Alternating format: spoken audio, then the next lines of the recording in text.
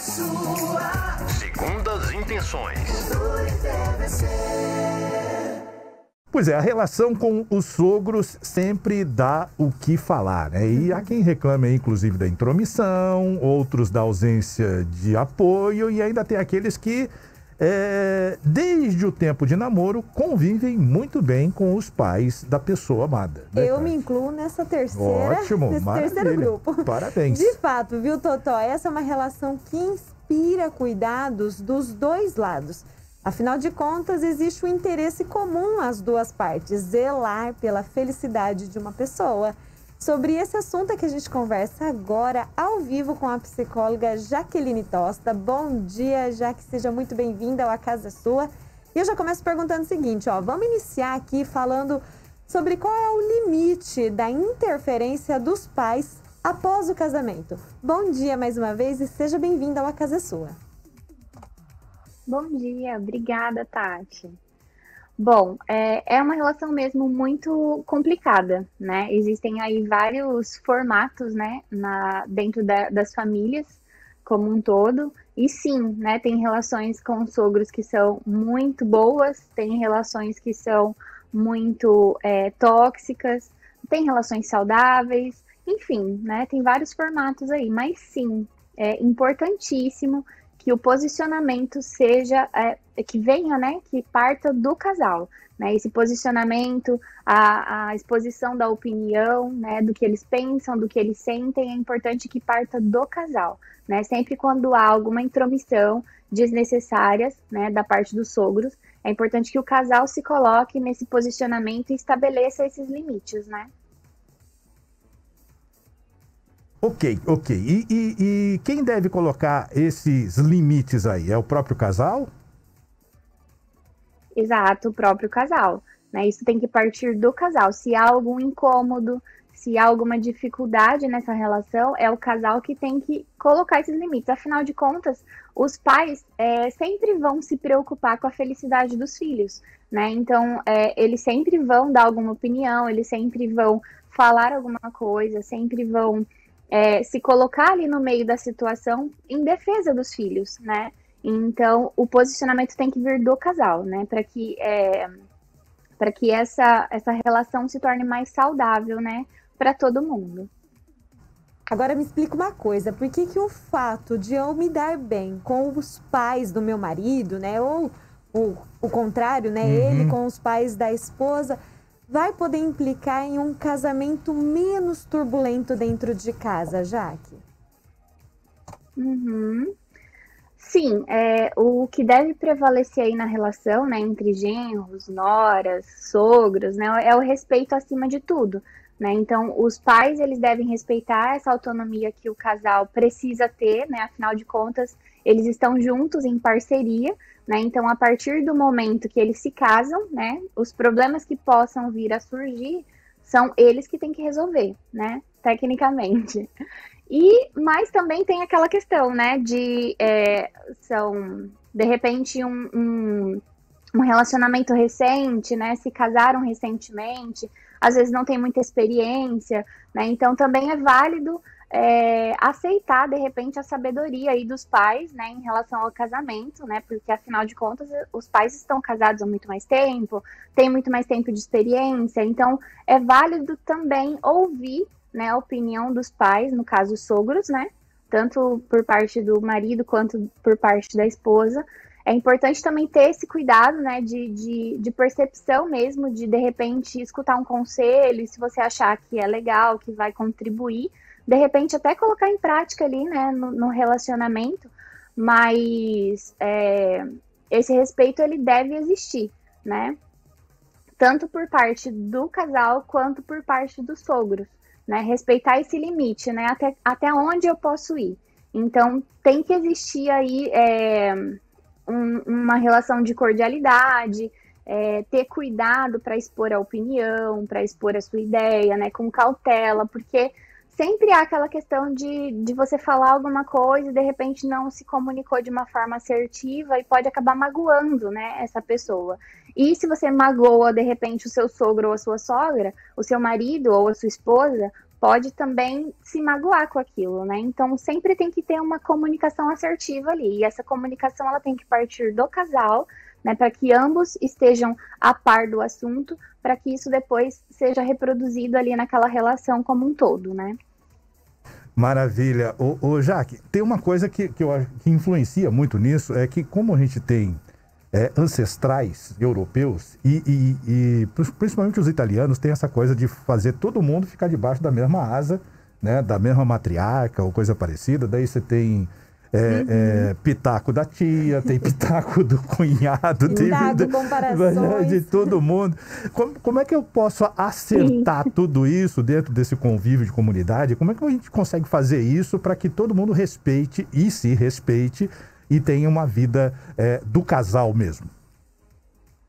Uhum. É, isso é muito questão de tradicionalismo também, né? Tem muitas famílias tradicionais, então isso acaba é, sendo um assim, acabam ultrapassando os limites de uma certa forma, né? Mas assim, o ideal é que se você está começando um relacionamento agora, é importante você já se posicionar dessa forma, estabelecendo os limites que você acha que é necessário dentro da sua relação, né, enquanto marido e mulher ali, e da sua relação com seus sogros né? Até onde eles podem ir. Então, estabelecer isso desde o início é importante. Mas, se você já está casado há muito tempo, não conseguiu colocar e impor esses limites aí desde o início, né? Então, você pode ir aos pouquinhos tentando colocar agora, né? Então, alguma coisa te incomodou? Tenta sempre expor ali para o seu marido, para sua esposa, na hora que aconteceu, né? Chama ali no cantinho, conversa, fala: olha, aconteceu isso, eu me senti dessa forma, não gostei, me incomodou, o que, que você acha que a gente pode fazer para resolver a situação, né? Mas é, essas opiniões, né, de, dos sogros, das tias, enfim, dos parentes de uma forma geral, sempre vai acontecer, né? Todos ali têm uma opinião, têm uma ideia sobre o assunto, e se a família for, assim, muito, é, como eu posso dizer, unida, né, de repente, e Deixa eu só desligar aqui o meu. Se a família for assim muito unida e todo mundo ali, né, um do lado do outro, sempre ajudando, vai existir essa intromissão, né, de uma certa forma.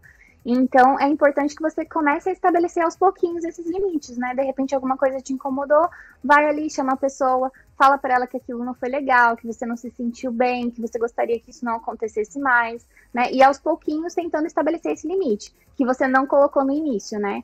Então é importante que isso seja é, inserido aos poucos, né? Se isso não aconteceu desde o começo do relacionamento. Pra gente encerrar, então, já que vamos falar, porque assim, sogro e sogra não nascem quando nasce o casamento, né? uhum. né? sogro e sogra nasce lá no comecinho desse relacionamento. Vem no né? pacote já. Vem no pacote. Você uhum. começou a namorar com, a, com, aquela pessoa, você tá ali namorando a família junto. Uhum. Sogro, sogra, cunhados, tios, avós, é, vem todo mundo no pacote. Bom, Fato é que o relacionamento com, sogro, com sogros nasce junto com o namoro desse casal. Então, Isso. É válido que desde o início eu me esforce para respeitá-los e impor também que eu seja uhum. respeitada? Com certeza. Com certeza. É como eu falei, né? Se você não estabeleceu do início, vai ter um pouco mais de dificuldade de começar a colocar isso em prática né? Mas se você tem a oportunidade de começar isso do início, né? Tá ali namorando, conheceu aquela pessoa, já vai conhecer a família dela, já começar a estabelecer esse limite, né? Se posicionar de acordo com o que você vai sentindo ali daquela nova família, né? É onde você está se inserindo. Então é importante também ter essa percepção, né? De, de comportamentos, de é, de repente de opiniões, né? Que aquela família ali possa ter em relação a esse novo relacionamento, né? E você ir sentindo e com cautela, né, começar a estabelecer isso. Então, ter prudência para falar, né, com, com essas pessoas, porque afinal de contas, é, se você tá ali namorando sério, né, consequentemente é uma pessoa que você tá escolhendo dividir a sua vida, que você de repente vai se casar com ela, né? Então, a família dela vem no pacote mesmo, né? Então tem que ter esse cuidado aí para se posicionar, para estabelecer esses limites, né? É, de repente também cuidar com essa questão de, de ficar comparando, né? Porque cada um tem uma criação, cada um é de um jeito, cada um tem a sua opinião, suas ideias, né, seus pensamentos. Então é importante também ter é, ter essa percepção, né? Então a forma que eu penso não é a mesma que de repente o meu marido vai pensar ou a família do meu marido. Né? Então, tudo depende da criação, do ambiente que, que foi desenvolvido, né, aquela, aquela pessoa. Então, é importante ter esse cuidado também. Respeitar né, a opinião do outro é, e estabelecer esse limite e saber até onde você pode ir.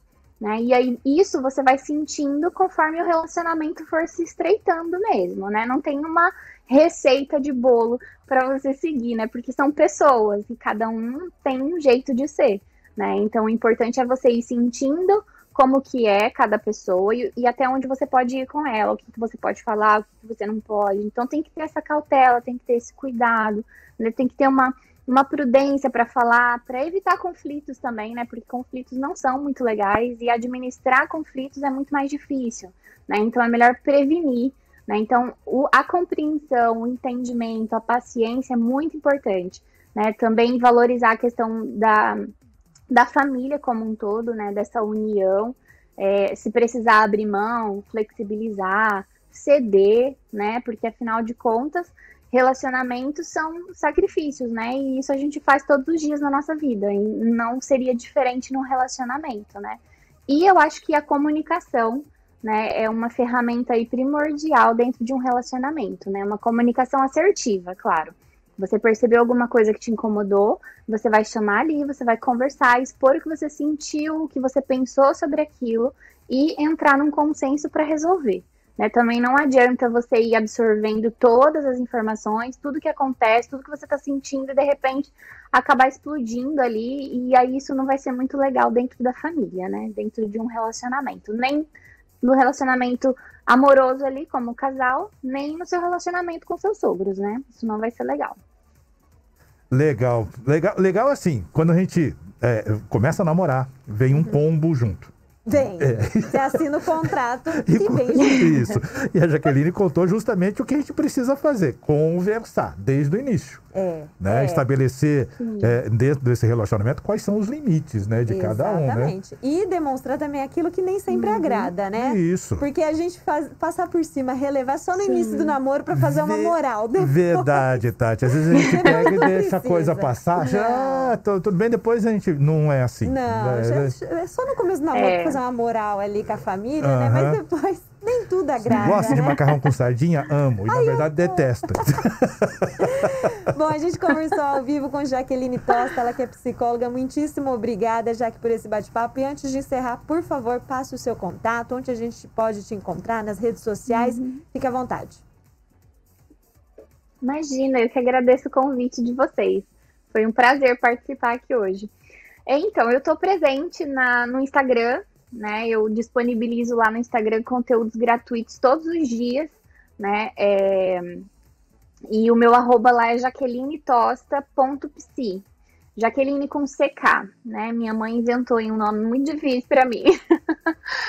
Mas é fácil de me encontrar lá. E lá no Instagram eu vou ter ali todos os meus contatos, né? Todos os meus acessos e vocês podem é, se direcionar por ali. E aqui em Três Lagoas, né, eu atendo de forma presencial na Equilibrium Clínica, na rua João Dantas Filgueiras 467. E atendo de forma online também, né, com essa situação da pandemia, né, os atendimentos acabaram que quase 100% se tornaram online, né, então eu também trabalho nessa modalidade. É, meu WhatsApp é 66981333039, tá? Mas lá no meu Instagram vocês vão conseguir aí todos os meus contatos se precisar.